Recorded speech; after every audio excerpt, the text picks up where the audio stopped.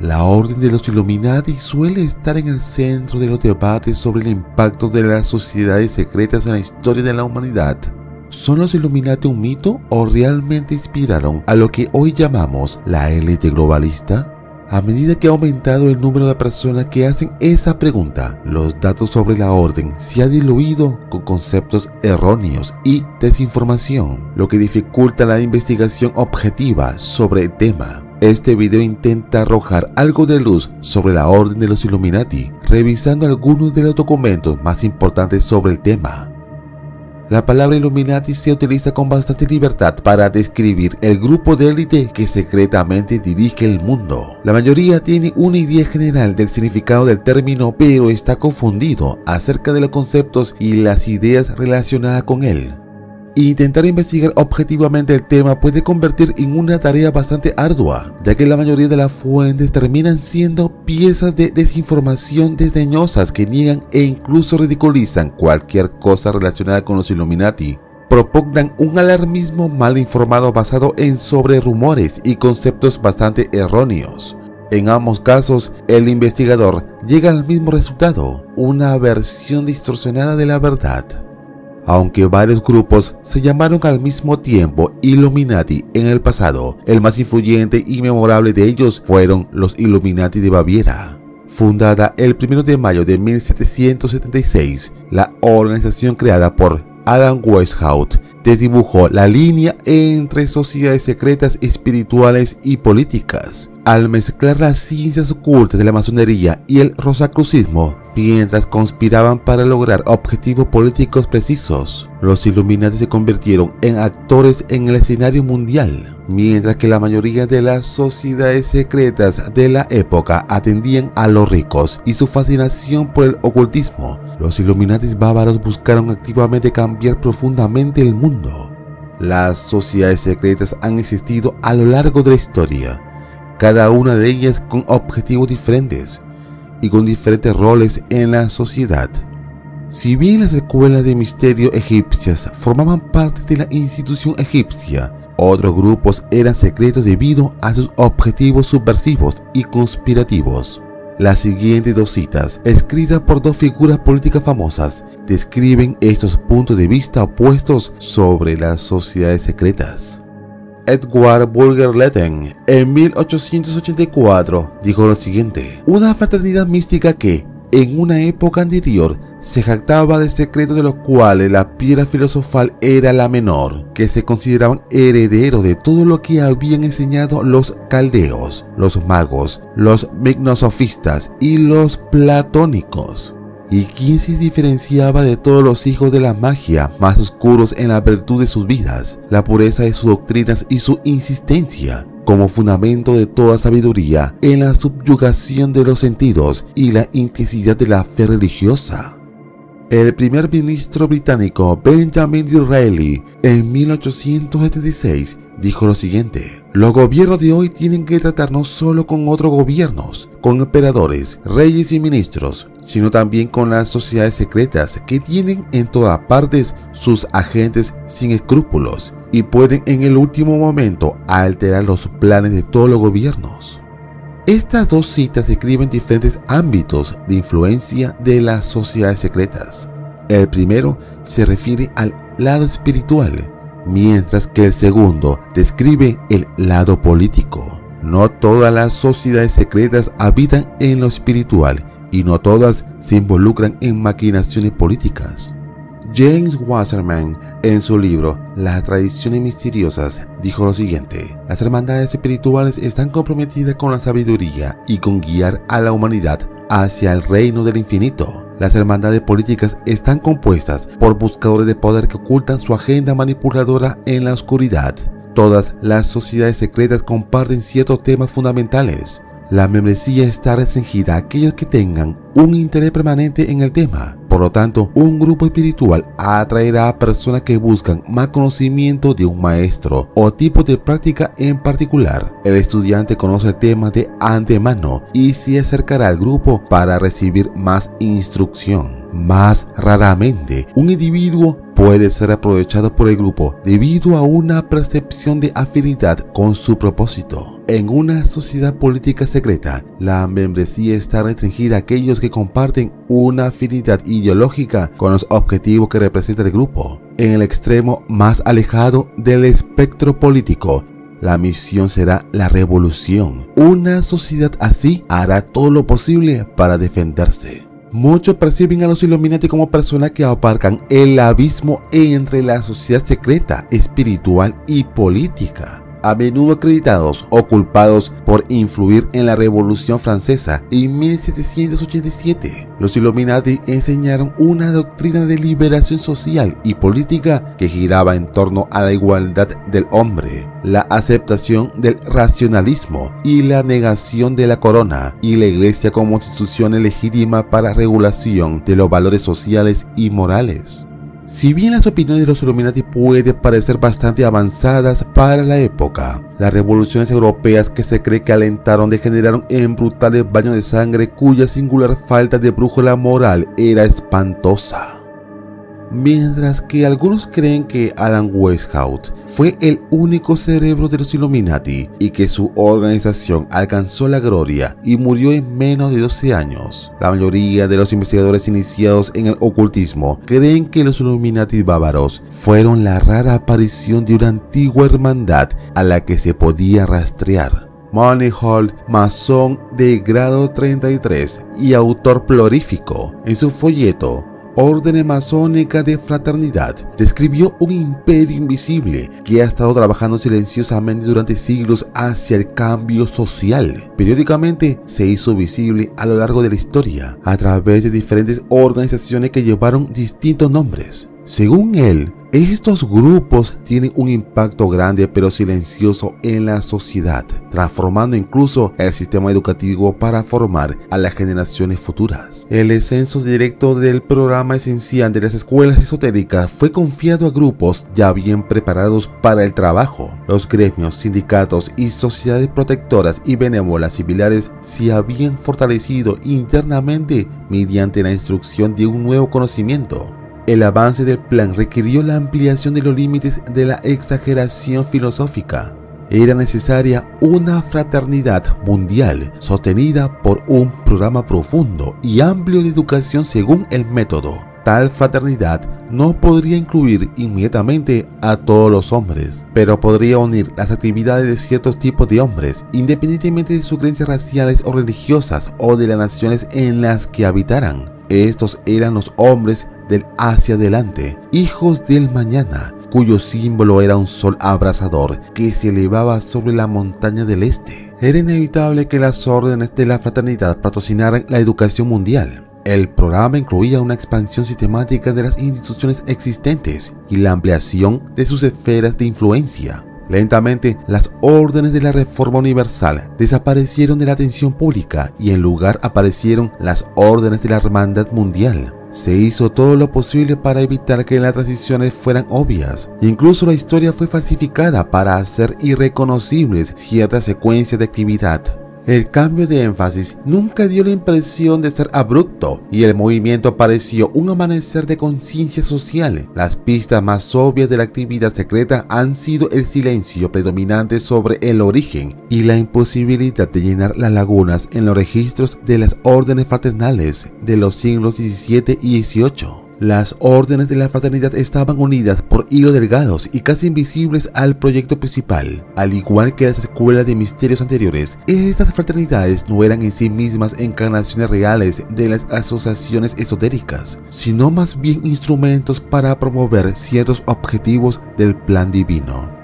Bueno, aquí Manly Hart menciona un silencio y falta de información sobre el funcionamiento de las sociedades secretas durante los siglos XVII y XVIII, la época durante la cual los Illuminati bávaros estuvieron activos. Es durante este periodo que las sociedades secretas entraron en acción, provocando revoluciones, derrocando los poderes monárquicos y papales y apoderándose del sistema bancario. ¿Fueron los Illuminati bávaros parte del imperio invisible descrito por Manly Hall? Veamos primero a Adam Weishaupt y su infame sociedad secreta.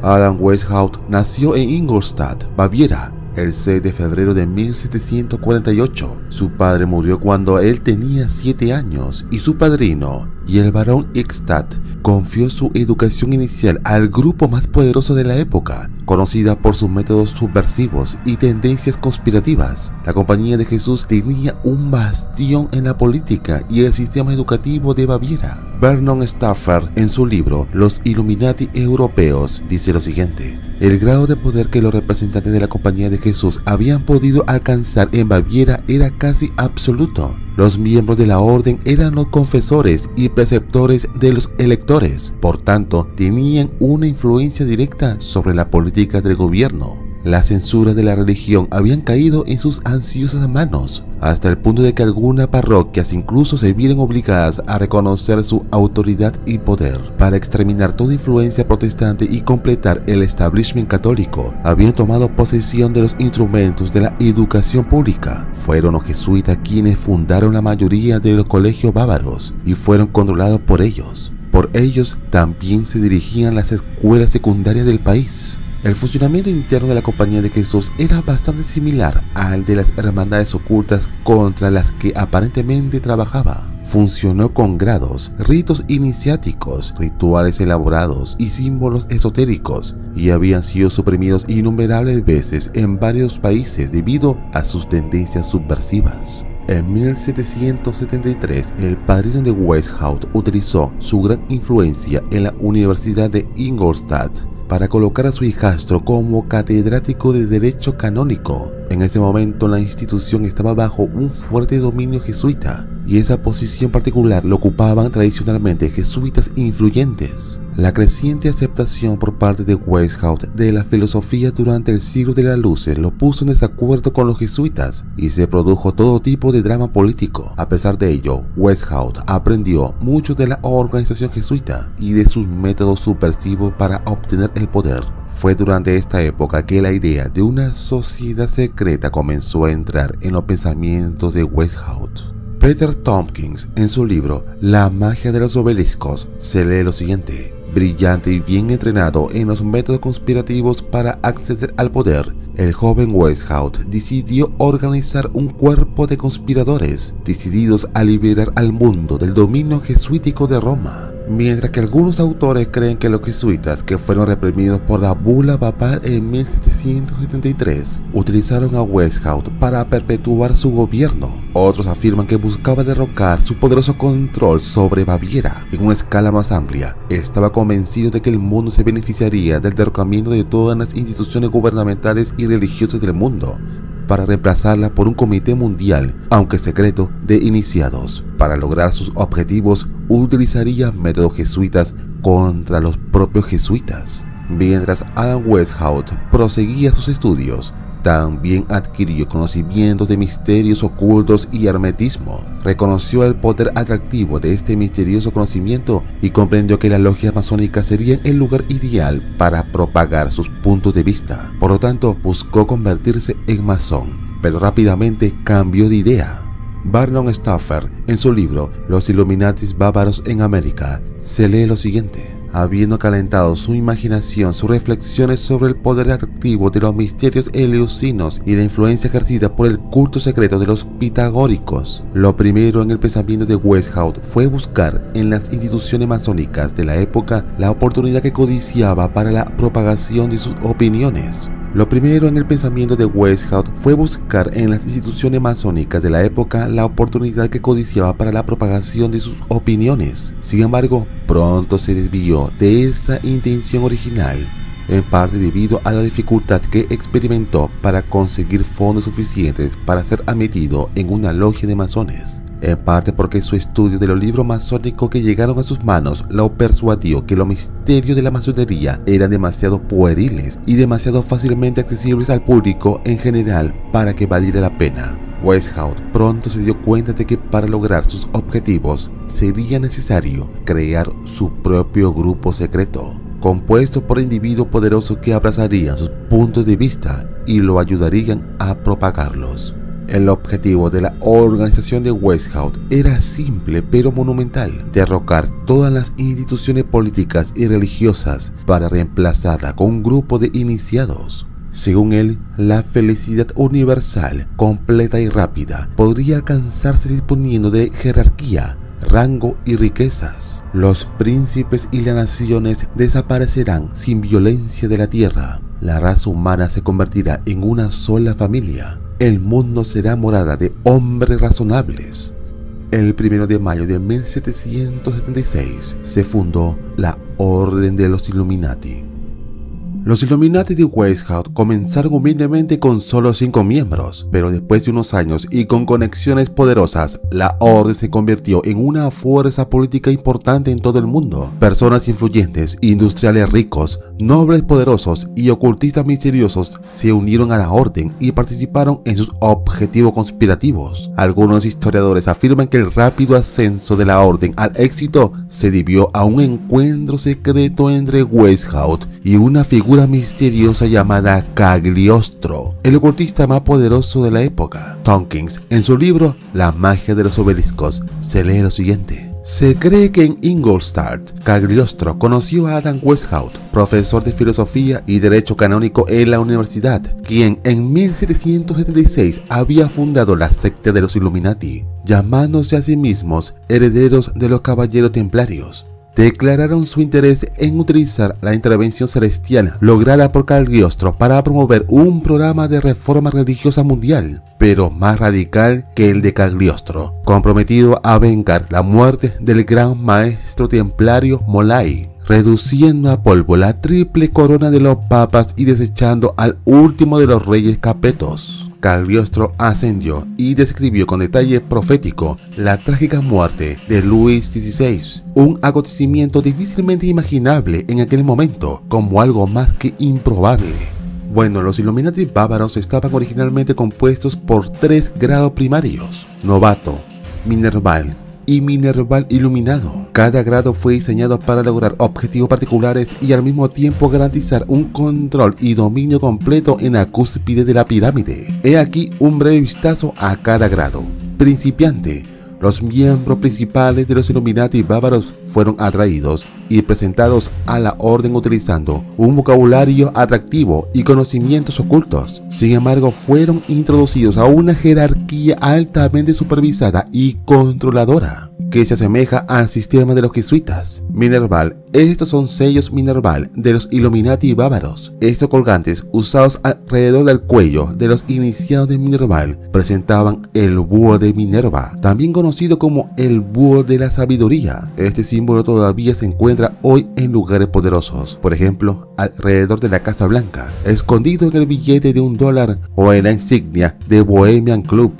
El término Minerval se deriva de Minerva, que era la diosa romana de la poesía, la medicina, la sabiduría, el comercio, el tejido, la artesanía, la magia y la música. A menudo se la representa con su criatura sagrada, un búho, que simboliza sus vínculos con la sabiduría. Este segundo grado de los Illuminati fue el adoctrinamiento. Los iniciados fueron sermoneados sobre los principios espirituales de la orden, pero tenían poca información sobre los verdaderos objetivos de Weishaupt y su círculo cercano de administradores. A los Minerval iluminados se les asignaron tareas específicas que cumplir con el fin de prepararlos para actuar en el mundo real. La mayor parte de su trabajo consistió en el estudio de la humanidad y el perfeccionamiento de los métodos para dirigirla. A cada Minerval iluminado se le confió un pequeño grupo de Minervals que fueron examinados, analizados y guiados hacia direcciones específicas.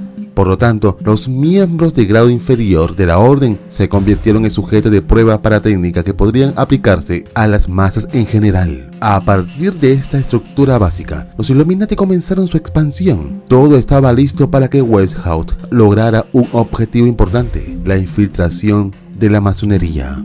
En 1776, el año siguiente de la creación de los Illuminati, Weishaupt se unió a la logia masónica de Teodoro del Buen Consejo en Múnich.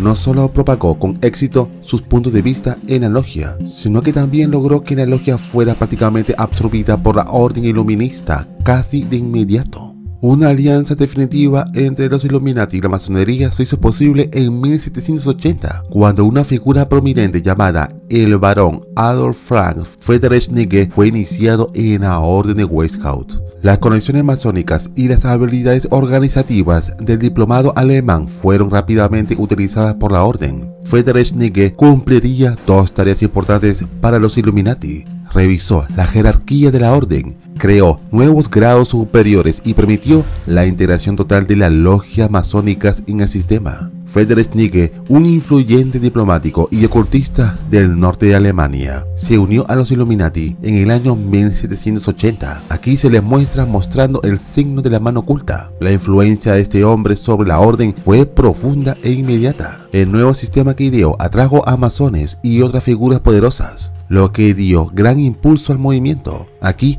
está el sistema ideado por Friedrich Nietzsche. Por supuesto mantuvo intactos los grados originales de la orden, pero agregó nuevos grados encima de ellos. El segundo nivel de los Illuminati incorporó los grados de la masonería, haciendo, por lo tanto, a la hermandad simplemente una parte de la superestructura Illuminati más amplia. Los grados más altos de la orden estaban restringidos a unos pocos elegidos e incluían individuos poderosos y figuras muy influyentes. El grado de príncipe lo ocupaba dentro de sus filas los inspectores nacionales, provinciales, prefectos y decanos de los sacerdotes. En la cima de la pirámide estaba el mago, también conocido como aeropagistas, que estaban compuestos por los jefes supremos de la orden. Sus identidades estaban resguardadas de forma segura y todavía hoy es difícil confirmarlas. La estrategia de Friedrich Nietzsche dio resultados muy impresionantes y permitió a los Illuminati convertirse en un movimiento extremadamente poderoso. El nuevo método de difundir el iluminismo mediante su afiliación con logia masónica demostró rápidamente su valor, en gran parte debido a la excelente estrategia de buscar reclutas entre los oficiales y otros personajes influyentes de las logias de la masonería. Una tras otra de estas en rápida sucesión se separaron al nuevo sistema. Se establecieron nuevas prefecturas, se organizaron nuevas provincias y los provinciales comenzaron a informar de su flujo constante y copioso de nuevos reclutas, tanto estudiantes, comerciantes, médicos, farmacéuticos, abogados, jueces, profesores de gimnasio y universidades, preceptores, funcionarios civiles, pastores, sacerdotes, todos estuvieron generosamente representados entre los nuevos reclutas. Pronto aparecieron nombres distinguidos en las listas de las logias del nuevo sistema. Entre los inscritos se encontraban el duque Fernando de Brunswick, el duque Ernst de Gotha, el duque Carlos Augusto de Sajonia-Weimar, el príncipe Agosto de Sajonia-Gotha, el príncipe Carlos de Hesse, el barón Dalberg, el filósofo Herbert, el poeta Gotha y el pedagogo Pastalozzi. A finales de 1784, los líderes se jactaban de tener una inscripción total entre 2 y 3 mil miembros, y el establecimiento de la orden sobre una base sólida parecía estar plenamente asegurado. Weishaupt, sin embargo, no disfrutó por mucho tiempo del éxito de su orden. En toda Europa surgieron sospechas de conspiración Illuminati contra gobiernos y religiosos. Al ver una amenaza creíble a su poder, el gobierno bávaro lanzó un edicto que prohibía todas las comunidades, sociedades y hermandades que existieran sin la debida autorización de la ley. Además, los desacuerdos internos entre Weishaupt y los altos mandos de su orden dieron lugar a disputas y desinciones. En medio de todo esto, algunos miembros acudieron directamente a las autoridades y testificaron contra la orden, oportunidad que no desaprovechó el gobierno bávaro. En 1788, mediante el uso de una legislación agresiva y cargos criminales, los Illuminati bávaros aparentemente fueron disipados y destruidos por el gobierno, si bien algunos ven aquí la conclusión de la historia de los Illuminati, no hay que olvidar que los tentáculos del iluminismo tuvieron tiempo de extenderse más allá de los confines de Baviera para llegar a la logia masónica de toda Europa. Los Illuminati nunca fueron destruidos, simplemente pasaron a la clandestinidad. Un año después, un acontecimiento importante demostraría que el iluminismo era más potente que nunca, la Revolución Francesa. Así que como ven, los Illuminati de Baviera no era un grupo que buscaba lo espiritual, era un grupo dedicado en la política nacional y la política religiosa, un grupo que buscaba destruir ambos poderes, muy parecido a lo que vemos actualmente el Foro Económico Mundial. En la parte 2 de este video hablaré profundamente de cómo los Illuminati de Baviera estuvieron implicados en los acontecimientos más importantes de la historia. Yo soy Harold Gibrari, si te ha gustado la información de este video por favor déjame un pulgar arriba y también quisiera saber tu opinión sobre lo que has visto. Puedes seguirme en mis redes sociales y también suscribirte a mi cuenta de Patreon.